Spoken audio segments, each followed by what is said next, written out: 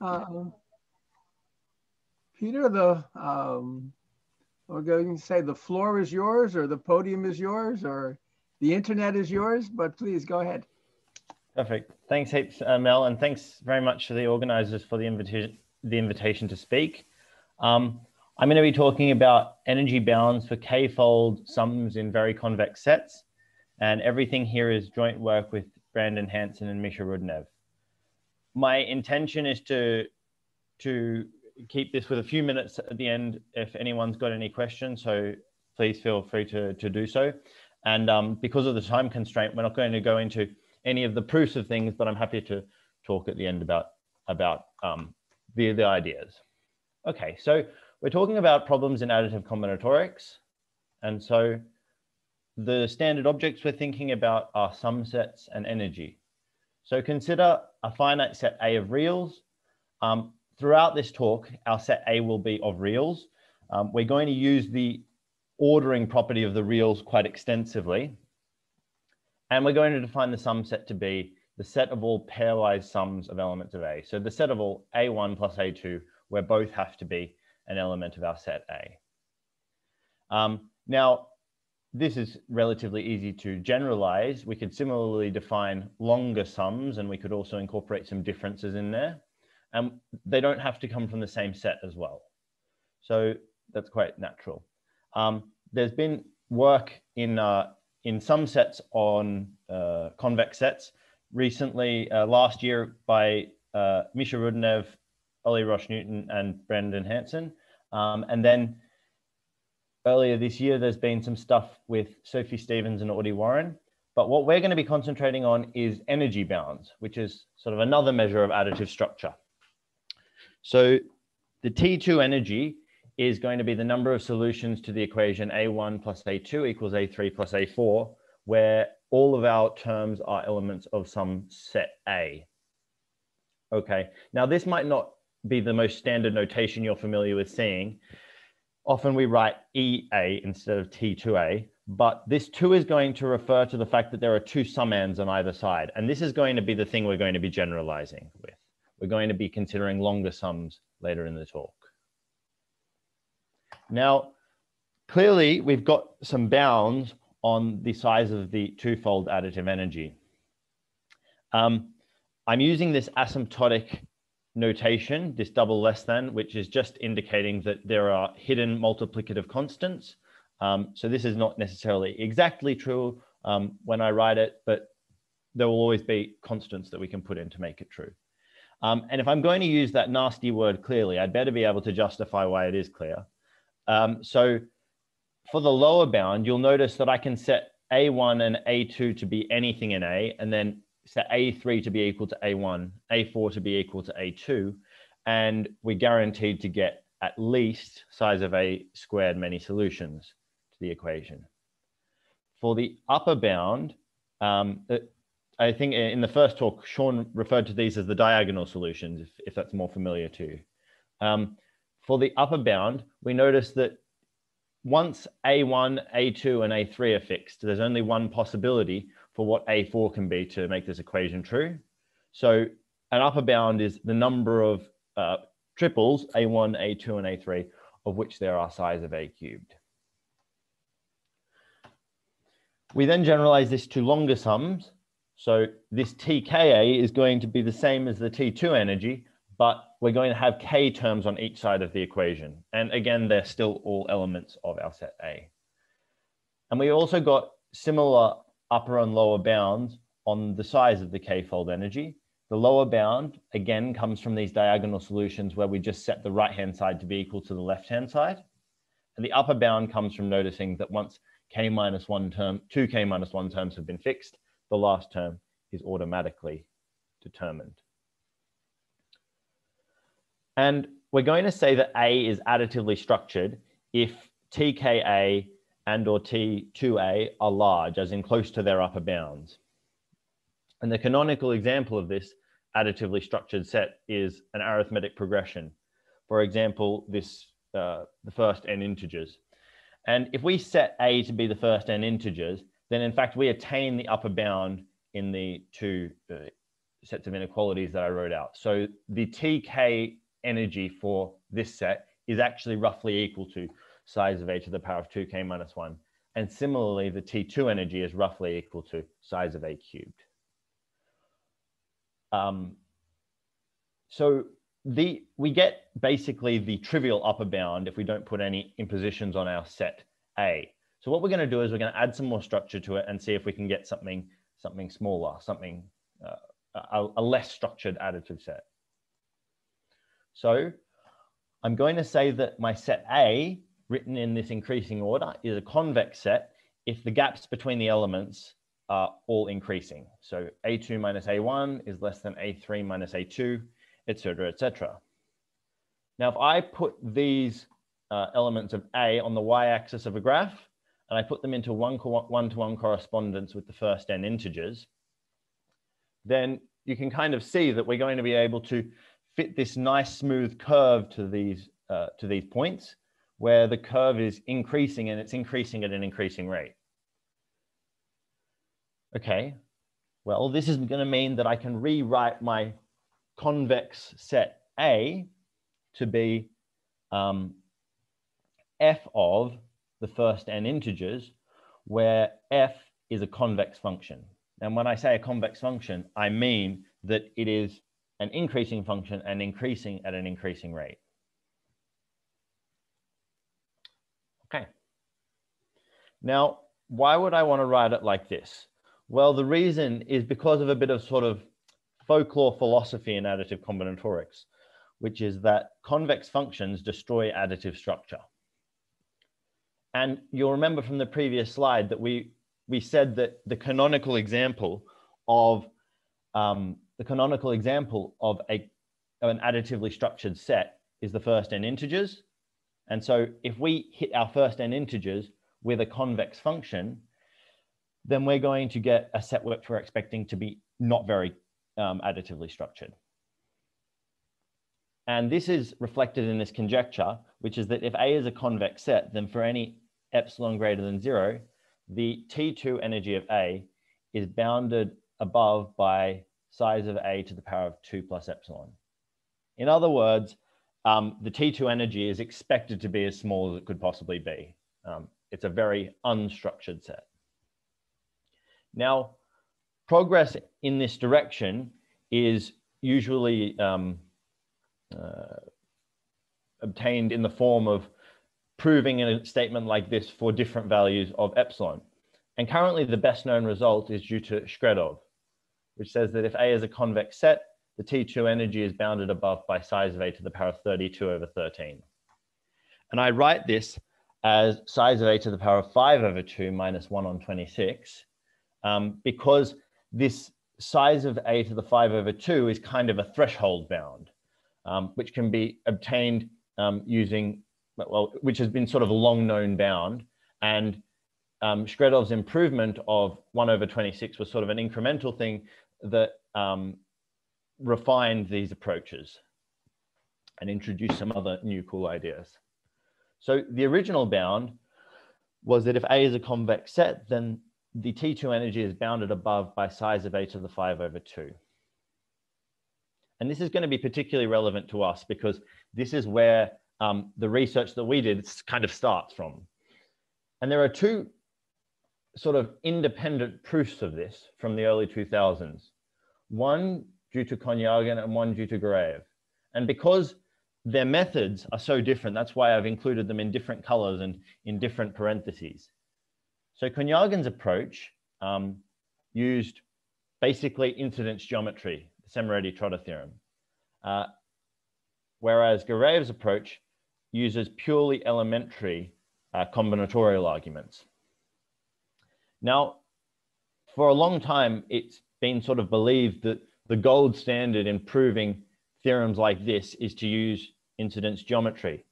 Um, and this was also reflected by the fact that um, Konyagin's approach was um, seemed to be more robust because it adapted not just to the twofold energy where um, it, it, generalized this. It, it adapted to when the twofold energy didn't include sums of two elements in the same set, but could have two different sets, say A and B. Um, it also uh, was easily adaptable to what I'm going to refer to later as nearly convex sets, but we'll come to that later. Um, and it sort of assumed that Garaev's approach wasn't able to be um, extended to these other settings. So the essence of our uh, research on this has been to show that Garaev's approach actually can be uh, generalized in many nice ways. And um, we've been able to recover a lot of the results or similar results to the Konyagin approach. Um, but in addition, we've been able to generalize it to longer sums in more convex sets. So let's talk about longer sums for a sec. The best known result uh, at the moment is due to Iosevich, Konyagin, Rudnev, and Ten. And they showed that if A is a convex set, then the k-fold additive energy is bounded above by the size of A to the power of 2k minus 2 plus 2 to the power of minus k minus 1. And now, if you look at this superficially, pardon me, if you look at this superficially, you might be a little unsatisfied with it because the trivial bound is the size of a to the power of 2k minus 1.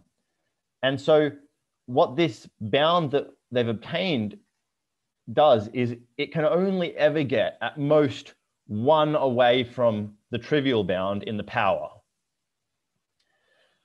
But to think like this would be kind of erroneous because in fact you can't do better than size of a to the power of 2k minus 2 as the upper bound.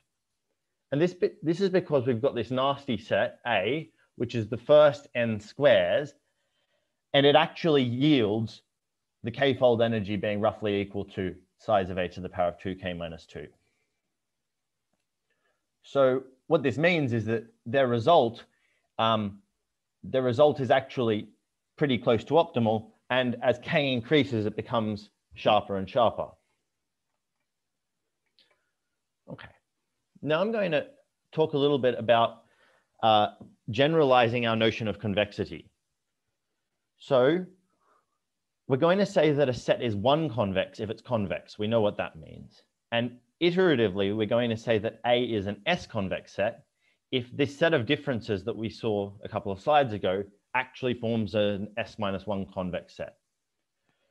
So if I was to ask for a two convex set, what I need is for the gaps between our elements to be increasing, but also to form a one convex set in their own right.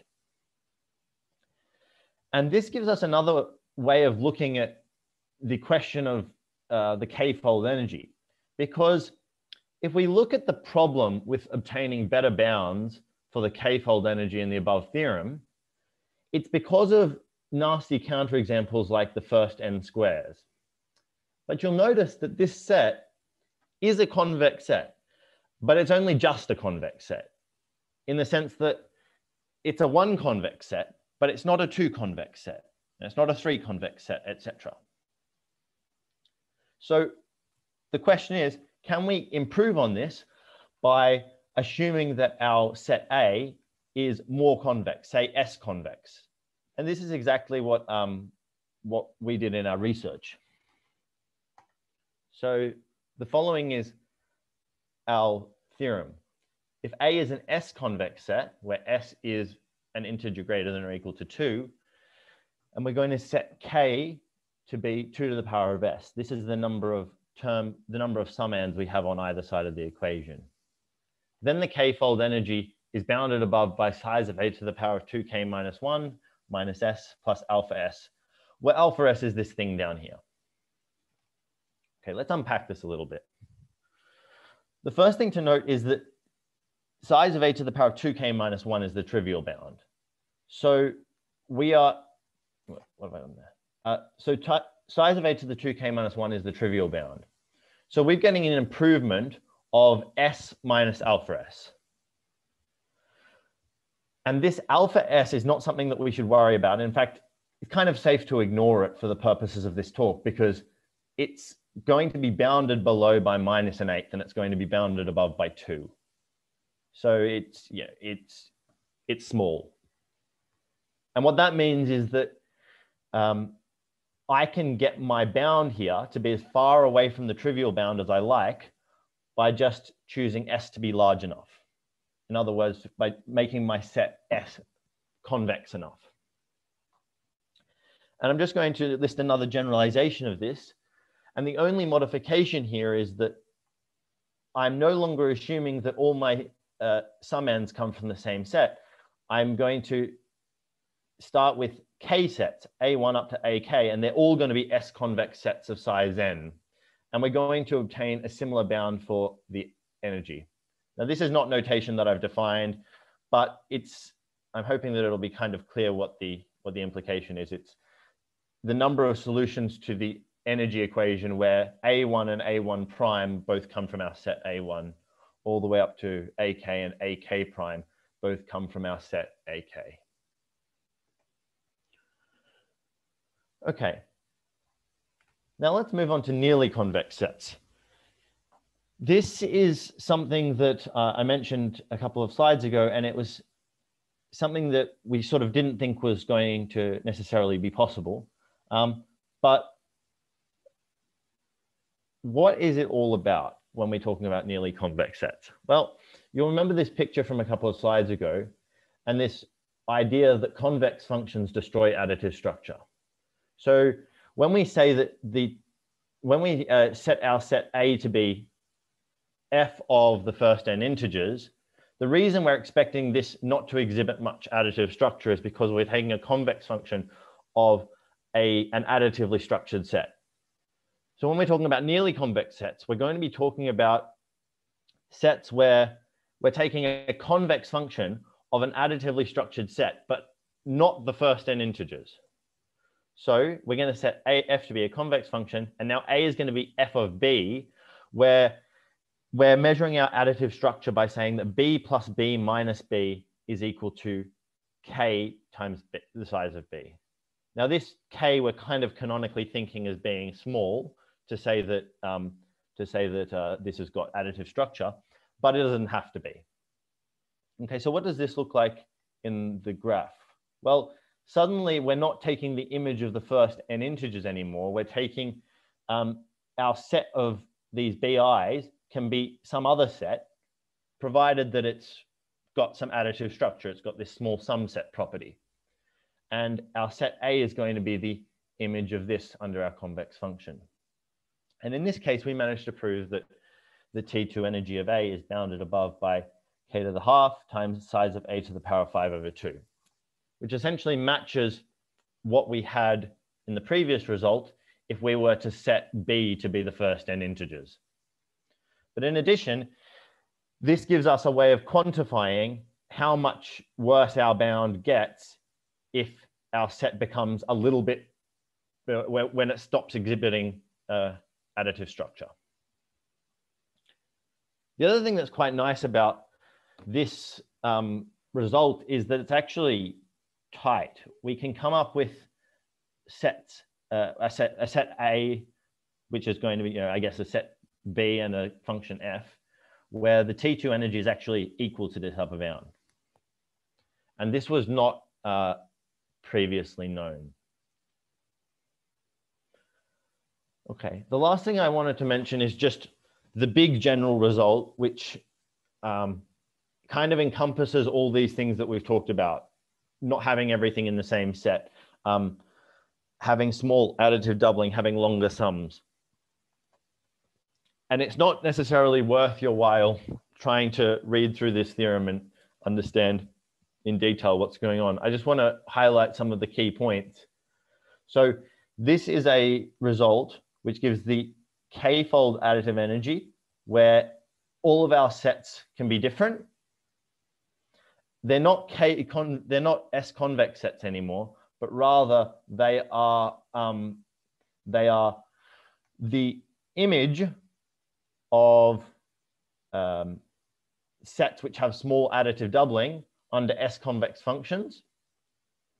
And none of these functions have to be the same. And none of these underlying sets have to be the same. And none of the doubling constants have to be the same.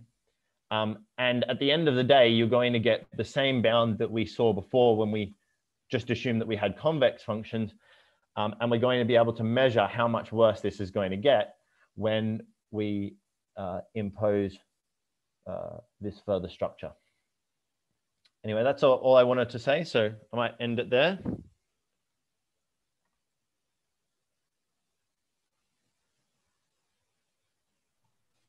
Thank you very much, Peter. Um, there is time for questions. So one way to uh, do this is there is a Q&A.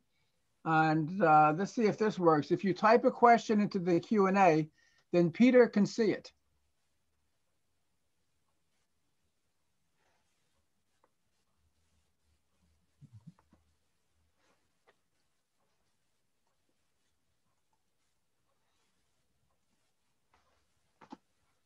Oh, that's what happens. Right.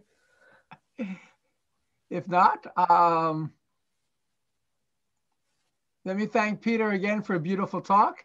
Well, and we just- uh, we just- our next, oh, wait, we do have a we've got- we've question. got a question. Yes. Can you describe the proof of this last theorem? Yeah, okay, actually that's a that's a, a nice a nice point. Um, it's probably going so the, the proof of this last theorem is kind of a generalization of the proof of this um, theorem from a couple of slides earlier. So I, think this is probably the easier one to put up. All right, so the idea is, is basically this. We've got um, k terms on either side of the, okay, the point is we're going to be doing it by induction. Induction on the number of terms on the sides of the equation. So we've got k terms on each side of the equation, and they all come from uh, S convex sets. Then what I can do is I can sort of subtract half the elements of one side and half the elements off the other side.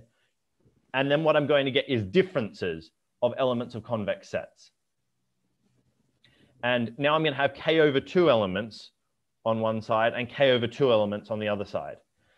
And if I can say, well, the differences of elements of S convex sets are going to be elements of S minus 1 convex sets.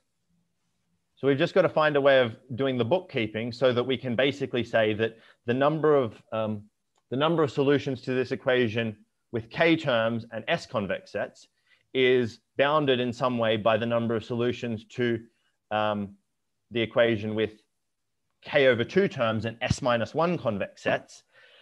And then that will get our induction going. And it's actually for that reason that the interaction between the, the convexity and the number of terms on each side of the equation is, is um, uh, asymptotic, is asymptotic, is um, oh, exponential. That's the word I'm looking for.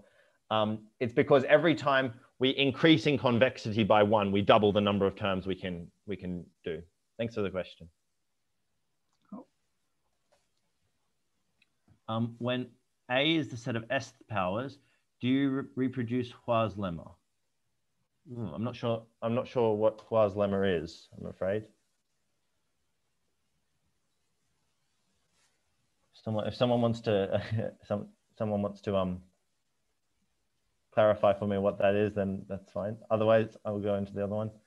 Um, in the S equals one case, you mentioned that this bound is sharp. Is there a similar optimality for the S greater than or equal to two case? It doesn't, no, that doesn't appear to be. We couldn't, we, we haven't found anything sharp other than, other than basically uh, this result. Um, uh, are there analogous results for other sets, for example, ZX? Um, I'm, I'm not sure. We didn't, we didn't use that structure at all. We just used, we only used um, the basically the ordering of the reals. Upper bound of 2k minus s. Uh -huh.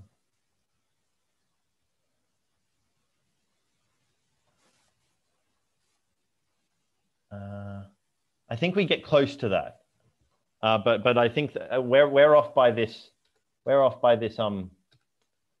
This alpha the s factor, uh, the, this alpha s factor, which is small, but it's it's um it, it's it's bounded above by two, but it's it's like a concrete number. Um,